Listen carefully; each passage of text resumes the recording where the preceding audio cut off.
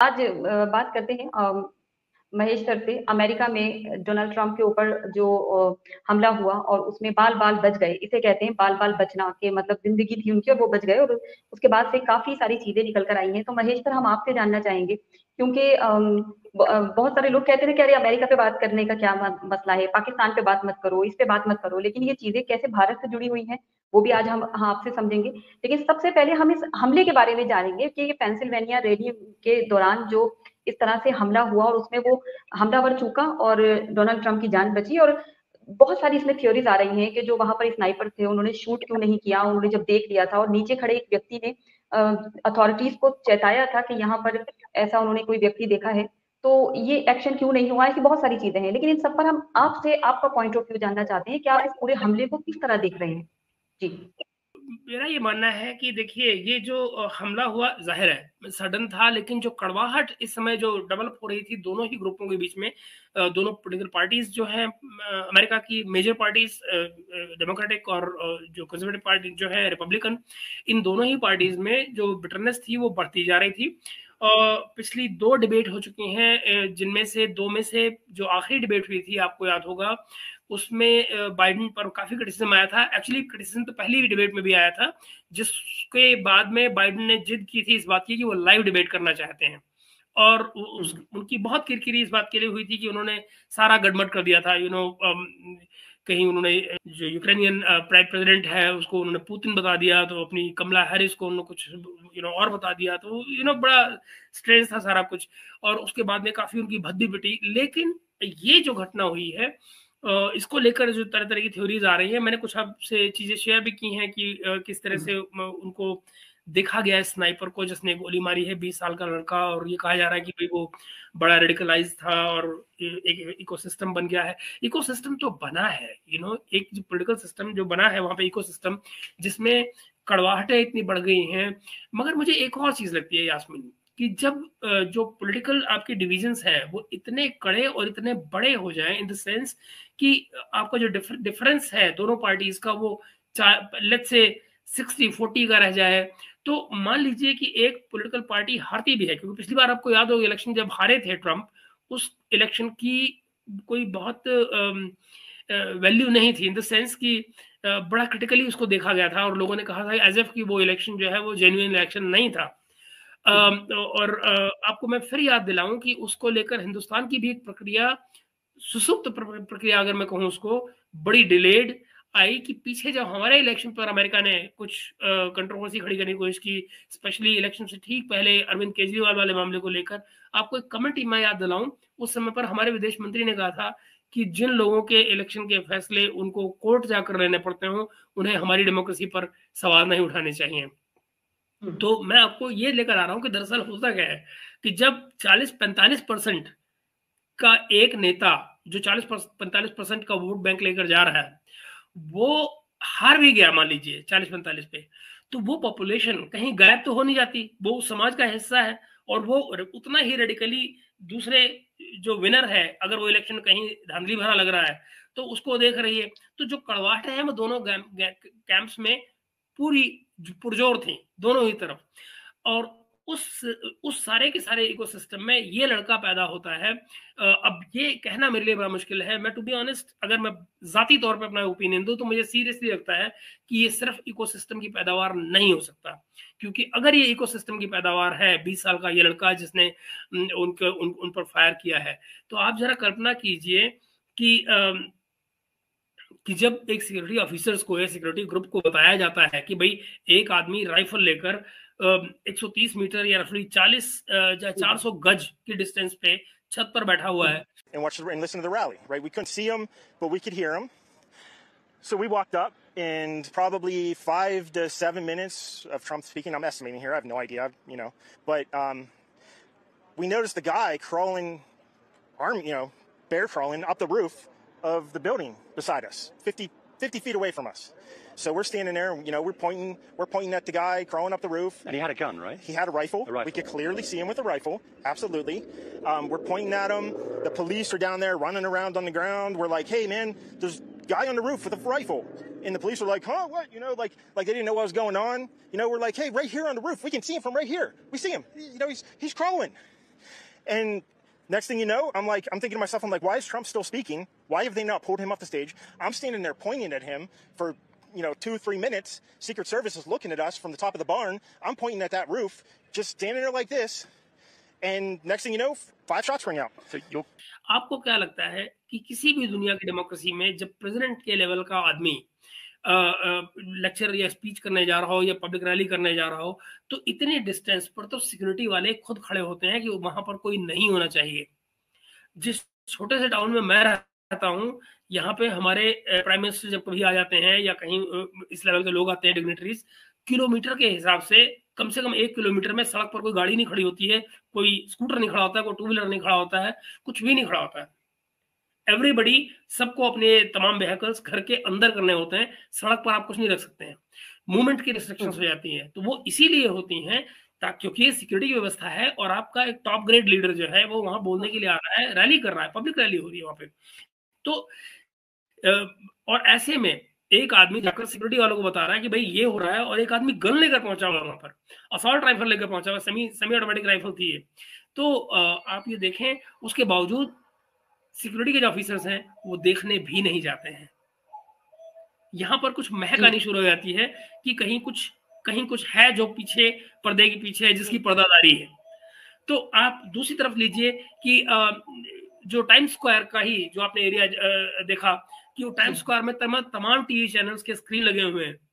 वहाँ हर तरह के विज्ञापन चल रहे हैं सब कुछ चल रहा है लेकिन ट्रंप के हमले की खबर वहाँ दिखाई ही नहीं जा रही है।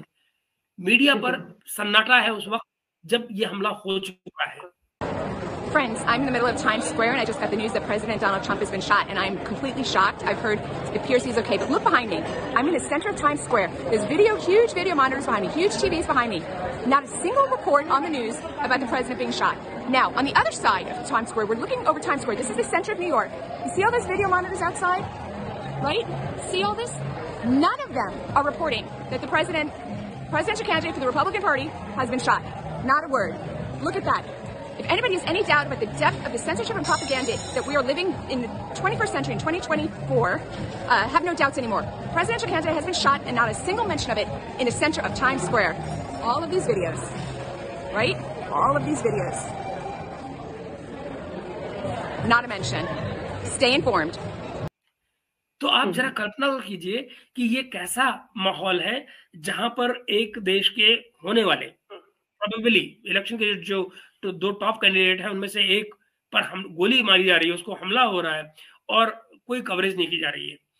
प्रोबेबली एक नैरेटिव देने की तैयारी हो रही है कि जब तक वो पीछे से नैरेटिव ना आ जाए। इनफैक्ट अगर आप उस समय पर सीएनएन की न्यूज़ देखें तो वो बड़ी अजीब किस्म की न्यूज़ है। आपको मतलब लैंग्वेज के लेवल पे आपको हँसी आ जाएगी वो ये कह रहे हैं कि ट्रंप गिर गए थे भीड़ बहुत ज़्यादा है मतलब वो एक्चुअली उनको गोली मारी गई है असोसिनेशन की अटेम्प्ट हुई है ये खबर ही नहीं है। हम्म।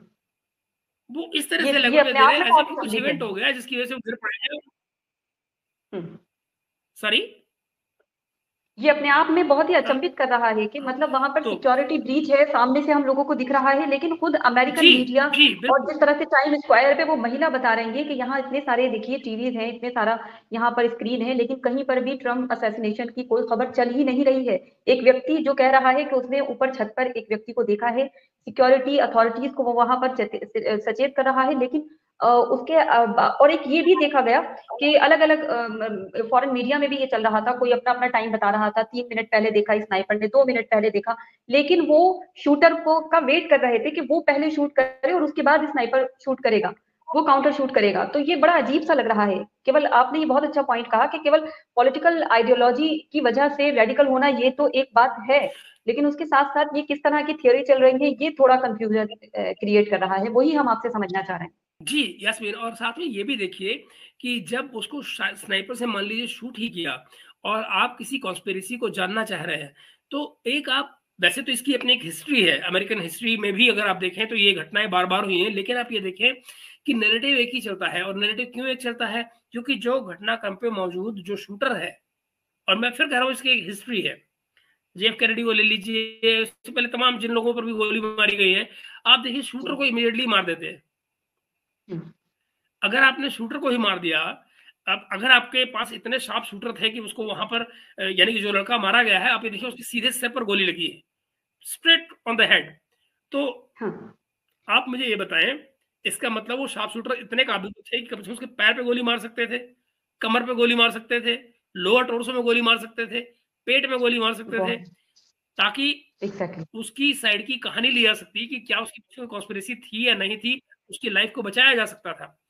मगर वो हम्म। मारते ही उसको इस तरह से है कि वो बचे ही नहीं। यानी कि जो बचेगा वो वो नरेटिव होगा जो कंट्री की एस्टेब्लिशमेंट दे रही होगी सिक्योरिटी एजेंसीज दे रही होंगी या जो भी जो भी पर्दे के पीछे जो भी लोग कहानियाँ बनाते हैं वो दे रहे होंगे। व्याख्यान बनाने वाले जो लोग होते हैं डीप स्टेट के मैं अगर ये कहने की गुस्ताखी कर सकूँ कि अगर कहीं चीज़ों के पीछे डीप स्टेट होती है तो प्रोबेबली डीप स्टेट इसी तरह ऑपरेट करती है।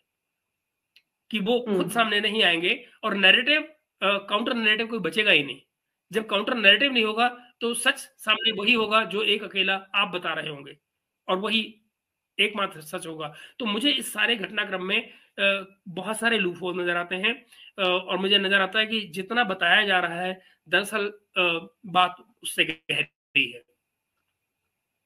जितना बताया जा रहा है बात उससे भी ज़्यादा गहरी है बिल्कुल। और सर जिस तरह से आपने ये सब बताया ही है कि सीक्रेट एजेंसीज हैं इनकी और इनकी सिक्योरिटी इतनी टफ होती है सारी दुनिया को डेमोक्रेसी पर ज्ञान देता है आ, अमेरिका। और उनके खुद के मुल्क के अंदर एक गन कल्चर इस पर भी हम आपसे जानना चाहेंगे। सर कि गन कल्चर काफ़ी पुराना है। यहाँ तक कि मैं एक डेटा देख रही थी जिसमें अमेरिका में गन कल्चर की वजह से पचास साल में पंद्रह लाख मौतें लगभग इतनी हो चुकी हैं और वहाँ पर हर एक सौ व्यक्तियों के पास 121 उनके पास गन होती है तो जितनी वहाँ तादाद है, उससे ज़्यादा तो उनके पास गन रखी हुई है। और 2022 में जब जो बाइडेन के द्वारा गन कंट्रोल लॉ लाया गया था तो उसको डोनाल्ड ट्रंप ने ही उसको अपोज किया था। और उन्होंने कहा था कि जो भी कानून का अच्छे से पालन कर रहा है तो उसको ज़रूरत नहीं है कि उसको आप इस तरह से इस लॉ में रखें।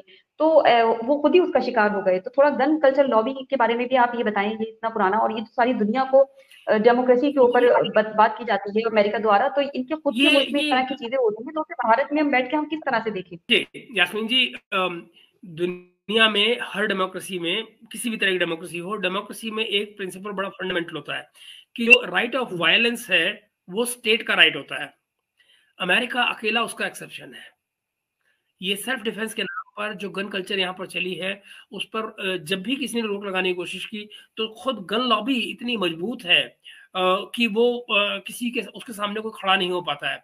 और दूसरे एक जो रिवाज है अमेरिका में लॉबिस्ट को हायर करने का और लॉबिस्ट के ज़रिए फिर आपके जो कांग्रेसमैन होते हैं, उनको इन्फ्लुएंस करने का, जो कि अपने इलेक्शन की फंडिंग के लिए चार चार पाँच पाँच छः छह हज़ार डॉलर पे जा रहे होते हैं लेटेस्ट एग्जांपल आप देखिए किस तरह से इमरान खान के खिलाफ अभी जो पाकिस्तान वाला जो मामला है उसमें किस तरह से रेजोल्यूशन वहाँ पास हुए हैं। तो बताया गया है कि वो सारे रेजोल्यूशन जो है वो इसी तरह से पास हुए हैं कि जहाँ पर कांग्रेसमैन को सर्टन कांग्रेसमैन को पैसे देकर और वो निपटा दिया गया। तो अगर इस तरह से एक डेमोक्रेसी काम करती है तो आई थिंक देर रीजन कि उस डेमोक्रेसी पर तो खाली शर्माया ही जा सकता है। You know you can only be ashamed of it तो एट द सेम टाइम आप ये देखें कि uh, दो पॉलिटिकल पार्टीज़ uh, हैं जो मेजर पॉलिटिकल पार्टीज़ हैं। हमारे वाला हाल नहीं है जहाँ पर you know numerous political parties हैं और आपके वोट शेयर करते हैं। लेकिन इसके पीछे एक जो फ़ायदा मुझे लगता है हमारी जैसी डेमोक्रेसी में होता है वो ये कि किसी मुल्क में दो ही आइडियोलॉजीज हों ये क्या ज़रूरी है? विचारों का सीमित हो जाना यू you नो know, दो ग्रुपों के अंदर क्या ये अपने आप में किसी डेमोक्रेसी को बढ़ावा देता है? आ, क्योंकि विचारों की तो कोई सीमा नहीं होती। और अगर मेरे एक खास किस्म के विचार हैं तो क्या विचारों की स्वतंत्रता के तहत मेरा ये अधिकार नहीं है कि मैं उस विचार को उस फैलाऊं समाज में और अपने साथ ज़्यादा से ज़्यादा लोग जोड़ूं? क्या पॉलिटिकल मूवमेंट उसका एक तरीका नहीं हो सकती है? तो बेसिकली मैं एक छोटा माइनर पॉइंट है जिसको मैं मेकअप करना चाह रहा हूँ वो ये कि द वेरी सिस्टम जिसमें हम सो, सिर्फ़ अपने आप को दो पोलिटिकल पार्टीज़ तक सीमित करें, क्या वो सही मायने में डेमोक्रेसी को रिफ्लेक्ट करता है?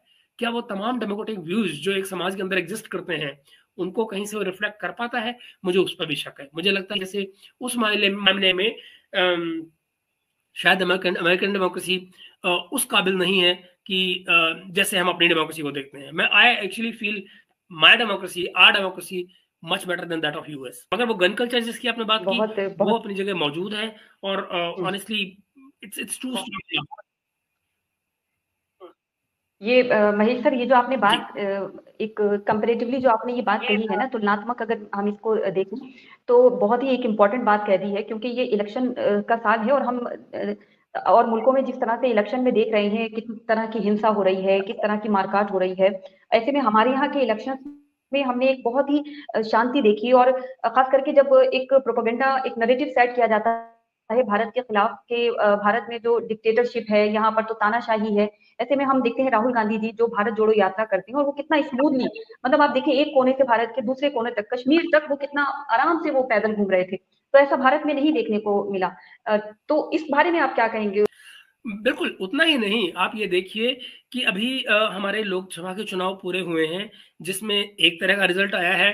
अभी बायपोल्स हमारे यहाँ हुए हैं और आप ये देखिए कि उसमें वो पार्टी जिसको 240 सीटें मिली हैं उसका नाम अनुशाही मिटी उसको कुछ भी नहीं मिला है।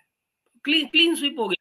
तो ये खूबसूरती है मैं इसको कोई बुराई नहीं मानता हूँ। मुझे लगता है ये हमारी हमारे लोकतंत्र की खूबसूरती है कि डाइवर्स व्यूज़ रिफ्लेक्शन पा रहे हैं और यही तो चुनाव है। चुनाव के तो मैंने ही यही होने चाहिए ना कि जितने डाइवर्स व्यूज़ हैं उनको आपके चुनाव में रिफ्लेक्शन मिल पाए। और और ये हमारे हम्म। चुनाव में लगातार आ रहा है by vote percentage by the share of votes जो हर एक पार्टी को मिल रहे हैं। पता लग रहा है कि भाई इन तमाम पोलिटिकल पार्टीज़ के अलग अलग व्यूज़ हैं और वो व्यूज़ इन वोट्स में रिफ्लेक्ट कर रहे हैं तो समाज में ये लोग मौजूद है। आप भाग नहीं सकते उन विचारधाराओं से जो साइमल्टेनियसली एक समाज के अंदर एग्जिस्ट कर रही हैं। और उनको ये हमारा चुनाव रिफ्लेक्ट कर रहा है, दिखा रहा है। बिल्कुल, लेकिन हम थोड़ा सा अगर मैं हमारे भारत के ऊपर बात करूँ और हम अमेरिका की घटना को देखें तो यहाँ पर भी थोड़ा सा इख्तलाफ राय को बहुत ज़्यादा तरजीह देना लोग कहीं ना कहीं उसको मान नहीं रहे हैं।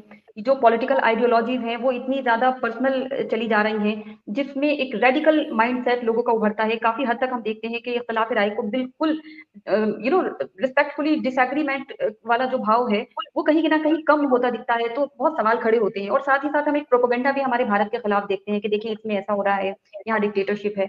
तो ऐसे में आप हमारे भारतीय जनता भी सुन रही है, ज़ाहिर सी बात उम्मीद करेंगे कि वीडियो भी दूर तक जाए। तो थोड़ा सा यहाँ पर हमारे लोगों के लिए क्या कहेंगे? यास्मीन हिंदी में एक बहुत बड़े कहानीकार हुए हैं आधुनिक कहानीकारों में उनका बहुत बड़ा नाम है। और हिंदी की एक बहुत हिंदी साहित्य की एक बहुत प्रखर पत्रिका है साहित्यिक पत्रिका जिसका नाम है उसका नाम है पहल। तो उसको चलाया करते थे उनका नाम था ज्ञान रंजन बहुत बड़े कहानीकार हैं। हम उनको कोविड के वक्त में खो चुके हैं मगर बहुत बड़ा नाम है। तो यू नो उनके फादर एक बड़ी खूबसूरत बात कहा करते थे। और वो कहते थे कि वाद प्रज्ञा को सीमित कर देता है।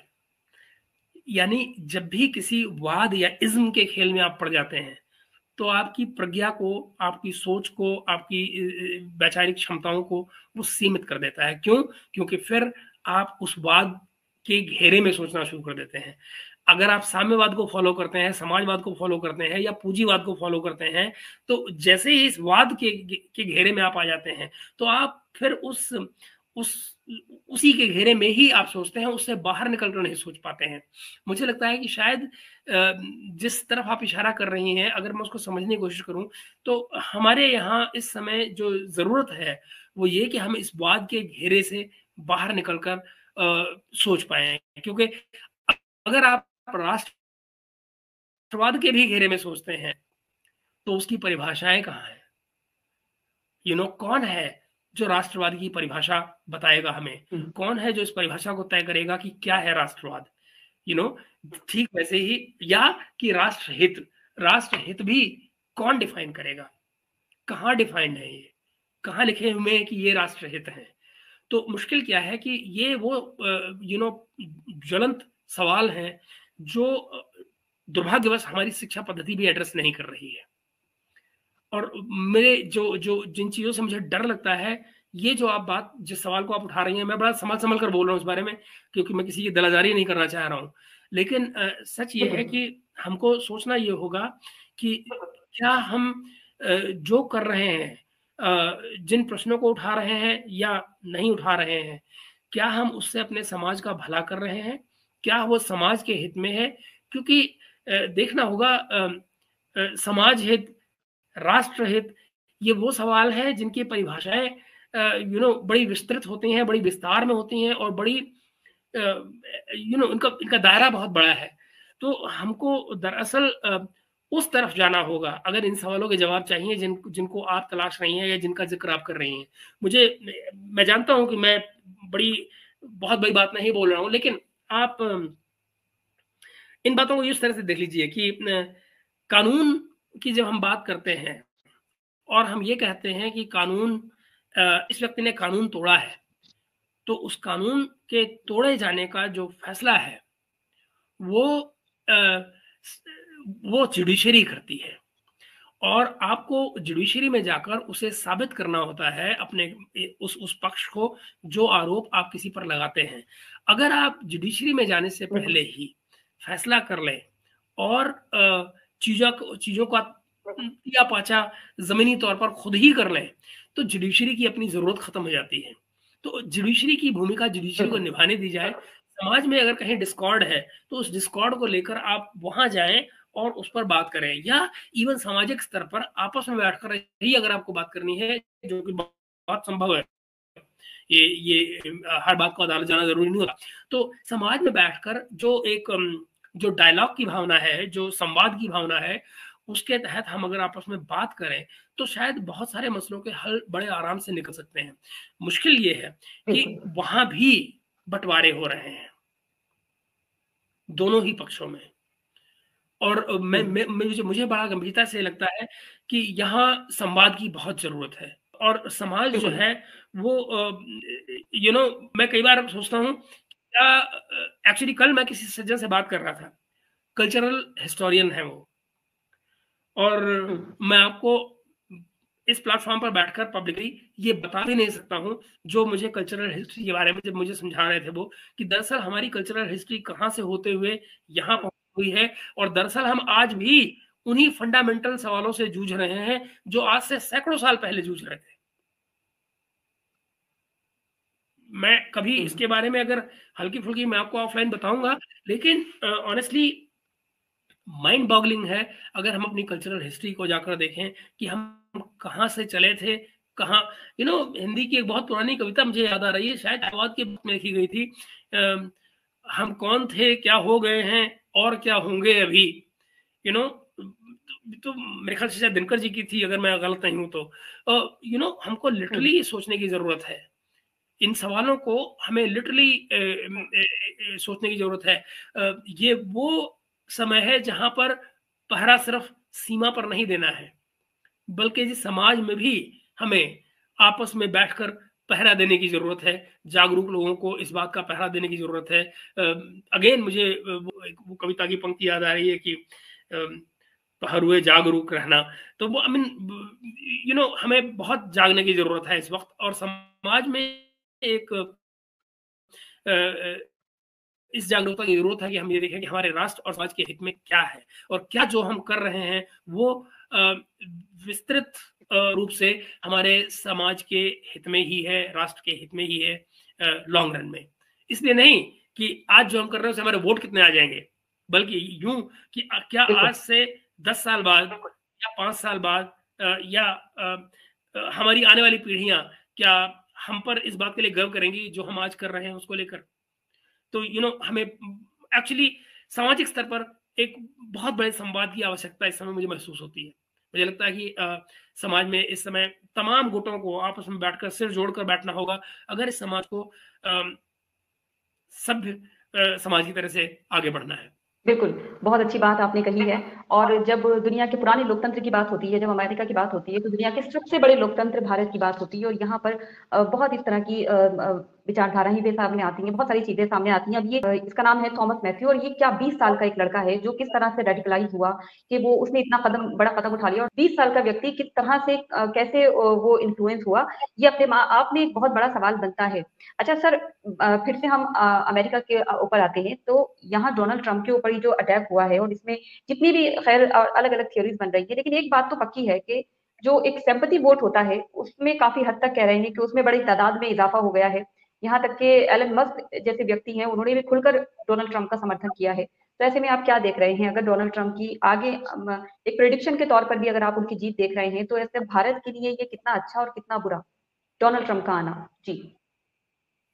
बोथ मुझे बहुत, देखिए, एक तो आप समझिए इस बात को कि अमेरिका में बाई पार्टीजन इस बात को लेकर सहमति है कि भारत के साथ जो संबंध है वो आगे जाने ही हैं। इसके अलावा मैं जो दो दूसरी बात कहना चाहूँगा वो ये कि ट्रंप जो कुछ कहते हैं उसको आप फेस वैल्यू पे ना लें। उसका उसके कहने के पीछे दो रीजन है। मैं आपको एग्जांपल दे देता हूँ। आपको याद होगा पिछली बार ट्रंप जब आए थे हम्म। और इसी तरह की डिबेट्स में पार्टिसिपेट कर रहे थे उन्होंने दो बार एग्जांपल मैं आपको देता हूँ जो उन्होंने उस वक्त बातें कही थी। और उन बातों का उनके फिर बाद के पाँच चार सालों में अमेरिका में चार साल बाद इलेक्शन होते हैं उन चार सालों में उनके टेन्योर के कहीं उन्होंने दोबारा ज़िक्र नहीं किया।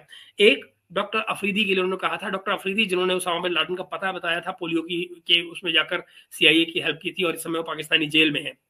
उन्होंने ये कहा था डॉक्टर अफरीदी के लिए कि बस हम्म। मैं पावर में आऊँगा और मैं फ़ोन करूँगा वहाँ पे और उनको कहूँगा डॉक्टर अफरीदी को छोड़ो और डॉक्टर अफरीदी छूट जाएँगे न वो कभी फ़ोन आया न डॉक्टर अफरीदी छोड़े गए और वो हम्म। आज तक वैसे के वैसे जेल में है आपको मैं फिर याद दिलाऊं हम्म। एक और जगह पर उन्होंने इसी तरह से कहा था अफ़गानिस्तान के लिए जब वो खुद प्रेसिडेंट बन चुके थे कि उस समय पे एक बम उन्होंने एक्सपेरिमेंट किया था ट्रंप के जमाने में। एक बम डाला गया था अफ़गानिस्तान में जिसका नाम था मदर ऑफ़ ऑल बम्स और। उसके बाद उन्होंने कहा था कि भाई अफ़गानिस्तान की प्रॉब्लम को सॉल्व करने में दिक्कत ही क्या है? एक न्यूक्लियर बम मार दो सारा प्रॉब्लम सॉल्व एक दिन में सारी प्रॉब्लम खत्म हो जाएगी। ये वो इस किस्म के भी हम्म। बयान वो देते रहे हैं। तीसरा फिर आप ये देखिए कि उन्होंने आपको याद होगा हिंदुस्तान को यूज़ करने की बात की थी ये कहकर कि मैं भारत को यूज़ करूँगा और उसके ज़रिए अफ़गानिस्तान, पाकिस्तान तमाम को कंट्रोल करूँगा। आप ये देखेंगे, ऐसा कुछ नहीं हुआ। हाँ एक भूमिका जो उन्होंने बहुत पॉजिटिव सकारात्मक निभाई थी और वो थी कि जब वो इमरान खान को, के साथ में उनकी नेगोशिएशन हुई थी, बाजवा गए थे वहाँ पर और वो कश्मीर वाले मुद्दे की जो कुछ घटनाक्रम रहा वो आपने देखा तो वो एक ट्रंप के टेन्योर में जो एक सकारात्मक हमको बात मिली थी, वो ये थी।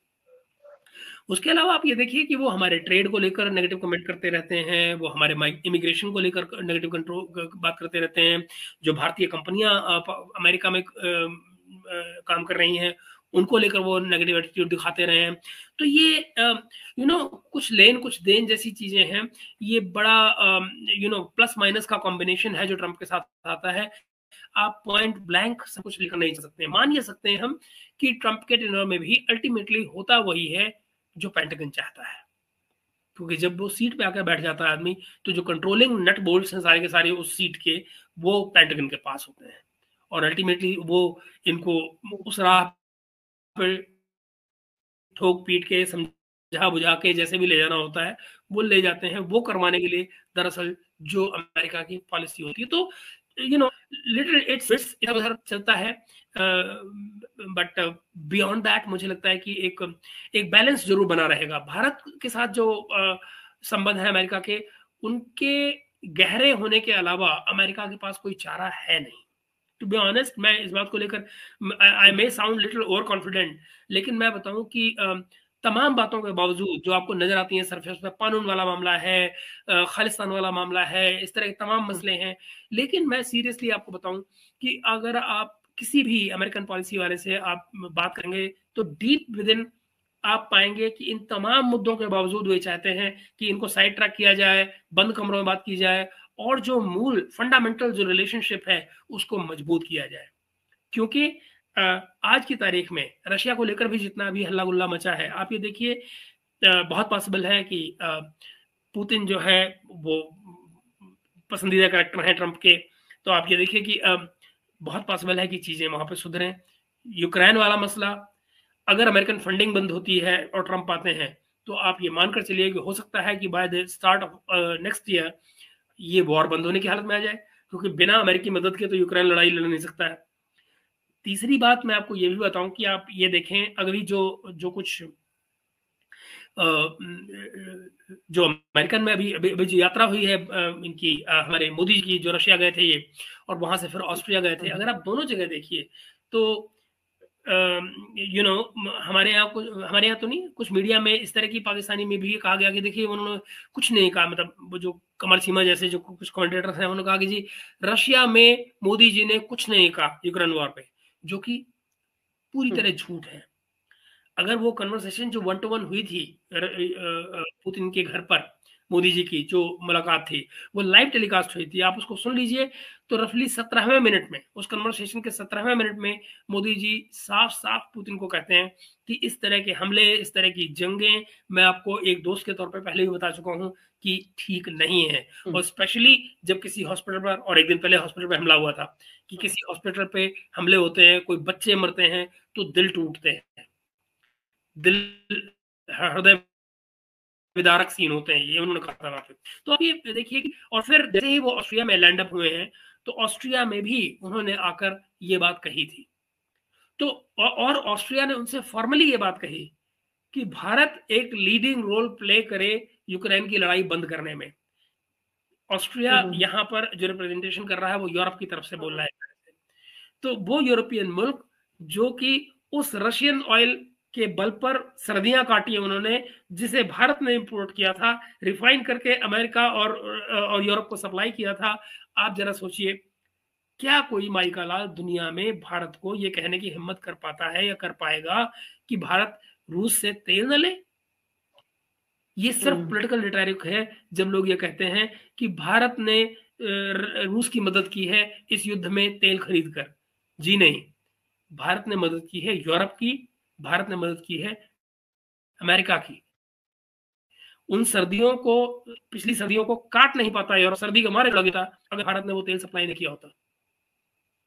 बिल्कुल। और जो उनका सबसे करीबी इत्तेहादी था यानी अमेरिका उसने जब नॉर्थ स्ट्रीम पाइपलाइन तोड़ी थी अब तो जग ज़ाहिर है सबको मालूम है किसने तोड़ी थी उसके बाद में जो एनर्जी की सप्लाई हुई है तो बोथ स्कैंडिनेवियन कंट्रीज़ ने जो गैस सप्लाई की है वहाँ पे या अमेरिका ने सप्लाई की है आप ये देखिए वो चार गुना दामों पे की है यूरोप को तो उन्होंने हम्म। बकायदा उस क्राइसिस का फ़ायदा उठाया उस क्राइसिस का जिसको उन्होंने खुद क्रिएट फ़ायदा और ये इसके पीछे पूरी अमेरिकी हिस्ट्री है यू you नो know, चाहे वो आप लीबिया को ले लीजिए इराक को ले लीजिए जहाँ इन्वेजन हुए आप ये देखिए आज इराक के जिन जिन कुओं पर अमेरिका का कब्जा है उनसे किस रेट पर तेल अमेरिका को जा रहा है कौन जानता है?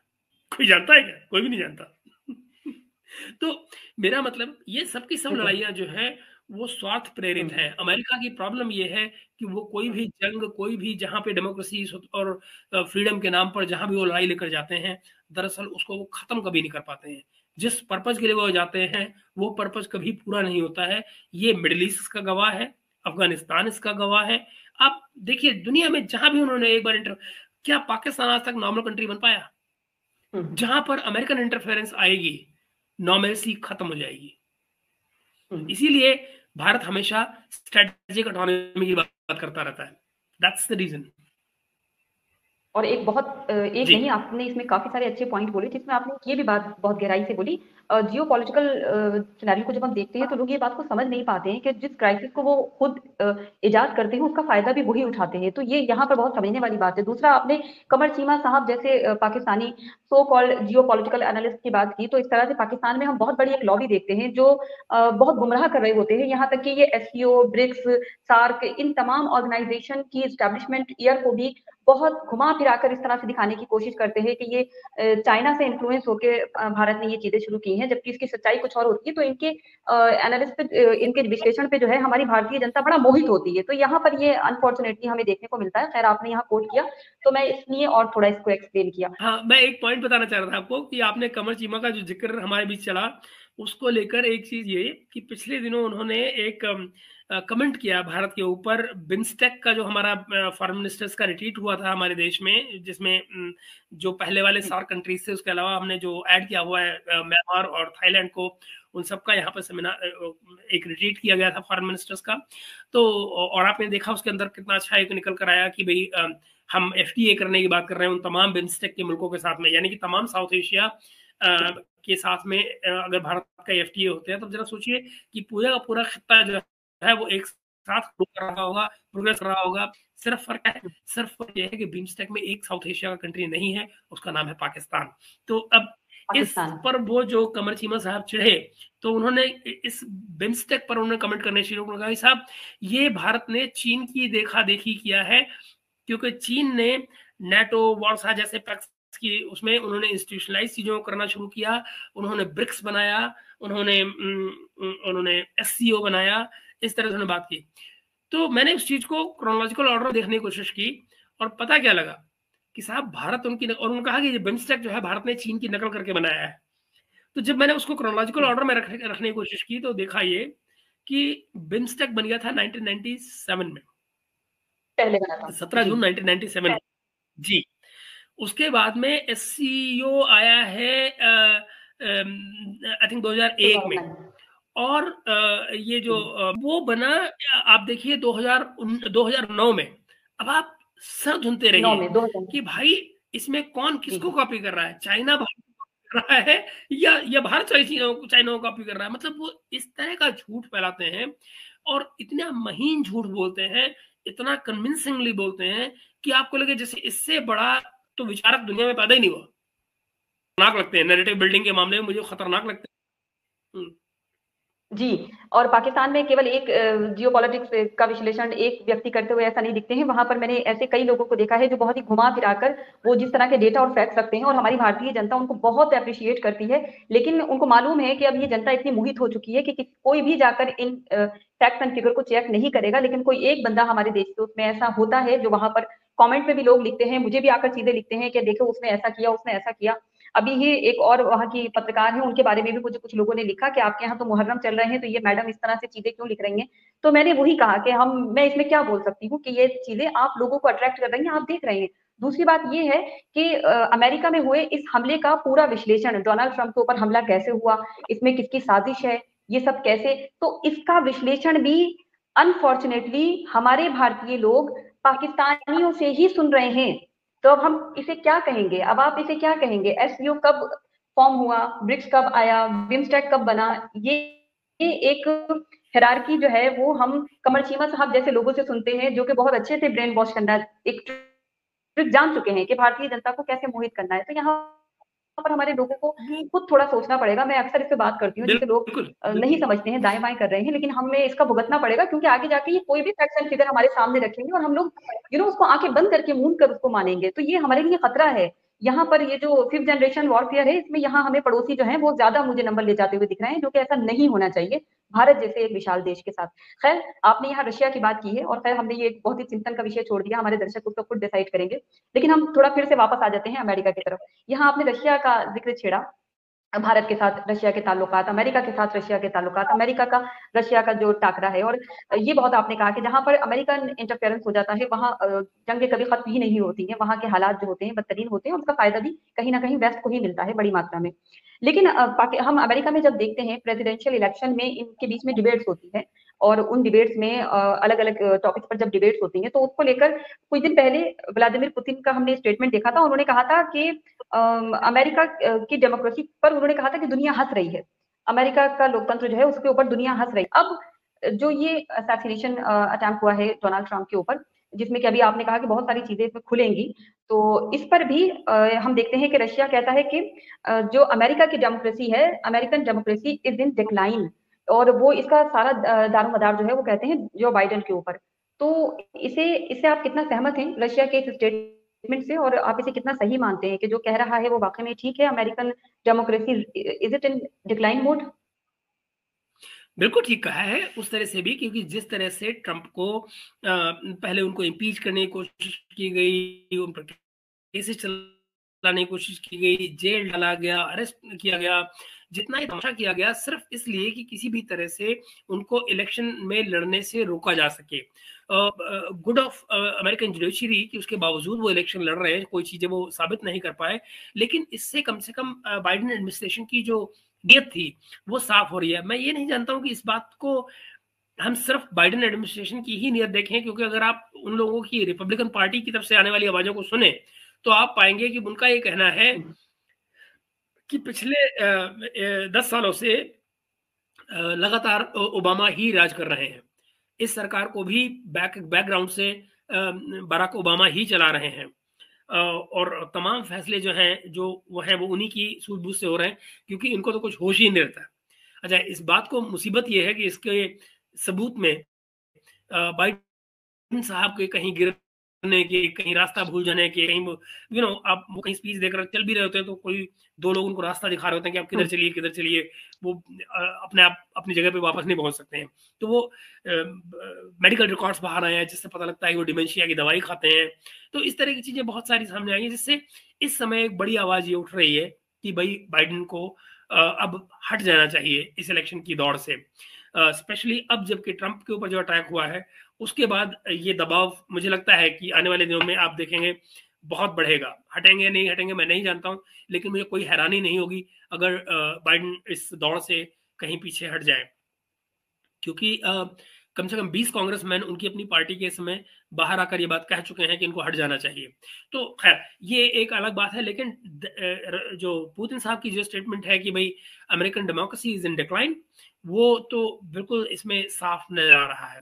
कहा उन्होंने है, लेकिन मुझे मुझे पूरा यकीन है कि इस बात का अंदाज़ा सबको है। मुझे लगता है कहीं ना कहीं अमेरिकन एडमिनिस्ट्रेशन भी इसकी गवाही देता है। आप जरा सोचिए, दुनिया अमेरिकन डेमोक्रेसी की बात करती है और खुद अमेरिका आज की तारीख में, अगर आप याद हो, पिछले दिनों उनके स्पोक्स पर्सन ने व्हाइट हाउस के कहा था कि India is the mother of democracy अब कहीं अमेरिका में भी ये रियलाइजेशन जा रहा है कि कि जो हिंदुस्तान है दरअसल एग्जिस्ट कर रही है जहाँ तमाम विचारों की विभिन्नताएँ तमाम तरह के लोग यहाँ कोई किसी को ब्लैक लाइव मैटर का मुकदमा नहीं चलाना पड़ता यहाँ पर किसी को ऐसी मुहिम नहीं चलानी पड़ती। और इसके बावजूद आप ये देखिए कि चाहे वो रेशियल हेटेड के क्राइम हो वो सब के सब इस समय अमेरिका में हो रहे हैं। तो सोसाइटल डिस्टर्बेंसेस वो सारी की सारी अमेरिका में आपको नज़र आ रही हैं। तो ये देखने का मुद्दा होगा लेकिन आ, मुझे लगता है कि पुतिन साहब की स्टेटमेंट में दम है और वो आवाज़ उनकी अकेली नहीं है। मुझे लगता है ये आवाज़ इस आवाज़ का रियलाइजेशन जो है वो दुनिया में बहुत दूर दूर तक गया हुआ है। बिल्कुल, बिल्कुल, बहुत बहुत सही बात आपने कही यहाँ पर और जो आ, अमेरिका की डेमोक्रेसी के ऊपर इस वक्त जो खतरे की आ, अलामत की बात हो रही है, बहुत ज़्यादा इस पर डिस्कशन भी हो रहा है और व्लादिमीर पुतिन ने तो खुलकर ही इस बात को कह दिया है। तो मैं देख रही थी, द इकोनॉमिक्स का एक फ़ेमस डेमोक्रेसी इंडेक्स होता है, जिसमें डेमोक्रेसी को रैंक किया जाता है और उसमें नंबर वन पे अगर हम देखें तो वहाँ नॉर्वे और न्यूजीलैंड जैसे मुल्क हैं और यूनाइटेड स्टेट्स का हम देखें तो वो उनतीसवें नंबर पर आता है और यहाँ हमारे भारत का भी मैं बता दूँ कि हम डेमोक्रेसी डेमोक्रेटिक रैंक में इंडेक्स में हम 41 पर हैं। अमेरिका का इस तरह से डेमोक्रेसी के ऊपर जो लगातार सवाल हो रहे हैं और जो एक डिक्लाइन मोड में बात हो रही है तो ये दुनिया के लिए आप कितने बड़े खतरे की अलामत देख रहे हैं? बस ये ऑल टुगेदर मैं आपसे थोड़ा जानना चाह रही हूँ कि ये कितना ठीक है कितना गलत होगा दुनिया के लिए? क्योंकि ये एक बहुत ही इन्फ्लुएंशियल कंट्री है बहुत सुपर पावर कंट्री है और जब कुछ भी अमेरिका में होता है तो दुनिया उसे नकल करती है। और अमेरिका एक वो कंट्री है जिन्होंने अभी कुछ ही दिन पहले और हमने आपके साथ ही प्रोग्राम किया था। जब उन्होंने हमारे कंट्री को इल्ज़ाम लगाया था। जी नहीं मुझे लगता है कि आने वाले सालों में आप देखेंगे जैसे अगर ये फैसला होता है कि ट्रंप आते हैं तो एक बड़ा बदलाव जो आएगा वो ये कि कम से कम जो दुनिया में लड़ाइयाँ हैं जो माहौल लड़ाई का बना हुआ है हर तरफ़ वो तो खत्म होगा। और दैट इट्सल्फ जो है वो करेक्शन का बहुत बड़ा रास्ता खोलेगी। यू नो दुनिया में कि भाई हम अपने पॉलिसी करेक्शन उस तरह से कर पाए। अगर यूक्रेन की वॉर खत्म होती है गाजा में कुछ डेवलपमेंट इस तरह की होती है कि वहाँ पर अब चीज़ें वहाँ भी खत्म होने की तरफ़ जा रही हैं। तो आपको याद होगा कि पिछली बार मैं जब ट्रंप की बात कर रहा था तो आपको मैं बताना भूल गया कि ये एक और बड़ा कंट्रीब्यूशन था ट्रंप का जो अब्राहम अकॉर्ड उन्होंने कराया था जिसके चलते तमाम जो मिडिल ईस्ट के मुल्क हैं उनके अमेरिका से रिलेशन बेहतर हुए थे। और अगर उसी अकॉर्ड के तहत अगर ये सात अक्टूबर वाला किस्सा नहीं हुआ होता जो हमस वाला जो अटैक हुआ था तो आप ये देखिए कि अब तक शायद सऊदी अरब भी इसराइल को रिकॉग्नाइज कर चुका होता और चीज़ें कहीं की कहीं जा रही होती। मुझे अभी तक याद है एक इंटरव्यू जो मेरे शायद फॉक्स पे हुआ था इनका एम का मोहम्मद बिन सलमान का और जिसमें उन्होंने ये सात अक्टूबर से पहले की बात है। मेरे ख्याल से कुछ पंद्रह दिन पहले की बात है। जिसमें वो कहते हैं उनसे पूछा था एंकर ने कि भाई आप आपका क्या ख्याल है कि इसराइल के, के से आपके संबंध कैसे हैं? तो उन्होंने कहा कि हम हर गुजरते दिन के साथ में इसराइल के नज़दीक जा रहे हैं। ये उनका कहना था। और मुझे लगता है कि शायद यही उनका वक्तव्य था जिसको ईरान जैसे मुल्कों ने बड़ी गंभीरता से लिया। और सात अक्टूबर की तैयारियाँ शुरू हुई एकदम कि भाई ये क्या होने जा रहा है। मगर अगर ट्रंप आते हैं तो शायद वो माहौल एक बार फिर से वापस लौटे। इसराइल को भी कुछ यू नो किसी हद तक समझाया जाए इस बात के लिए। हालाँकि उनके समझने के हालात मुझे नज़र आ नहीं रहे लेकिन कम से कम जो जो जो उपद्रव हो रहा है गाजा में कम से कम वो बंद होगा ऐसा मुझे लगता है। और, और ये अगर दोनों ही तरफ़ आप ये देखिए दोनों ही तरफ़ अगर ये आर्थिक और हथियारों की मदद बंद होगी तो ज़ाहिर है दोनों तरफ़ कॉन्फ्लिक्ट के रीजन जो है वो खत्म होते जाएँगे। That itself will be a very positive development to democracy के साथ साथ मुझे लगता है दुनिया में पीस की तरफ़ भी एक बड़ा कदम होगा। अब्राहम अकॉर्ड के जो आपने बात की है, बिल्कुल उसी, वही एक रास्ता था जिससे इसराइल के और तमाम इस्लामिक कंट्री के साथ अच्छे रिलेशन हो रहे थे, लेकिन उसके बाद हमस का अटैक और वो तमाम चीज़ें हमने देखी हैं। तो सर ने जितनी भी अभी तक बात की है, उसका आगे वाले, आने वाले वक्त में भी आप देखेंगे कि उसके असरात क्या होंगे। क्योंकि जो इलेक्शन है और खास करके जब हम यूएस इलेक्शन की बात करते हैं तो इनका यहाँ बहुत कुछ हो रहा होता है और जो दुनिया को मुतासर करता है, चाहे इनके इलेक्शन हो, चाहे इनकी मार्केट हो पूरी दुनिया को इससे फ़र्क पड़ता है और भारत को डेफिनेटली उस पर नज़र बनाए रखनी होती है। तो इसी के मद्देनजर हमने सर से आज पूरी बातचीत की। आई होप कि हमारे प्यारे व्यूवर्स इस वीडियो को दूर तक शेयर करेंगे, जो कि वो करना भूल जाते हैं। लेकिन मैं फिर भी उम्मीद करती हूँ और thank you so much Mahesh sir, आपने अपना वक्त दिया। दोबारा आपको जहमत देंगे और फिर किसी और टॉपिक पे आपके साथ ज़रूर बात करेंगे। बहुत बहुत शुक्रिया। जय हिंद।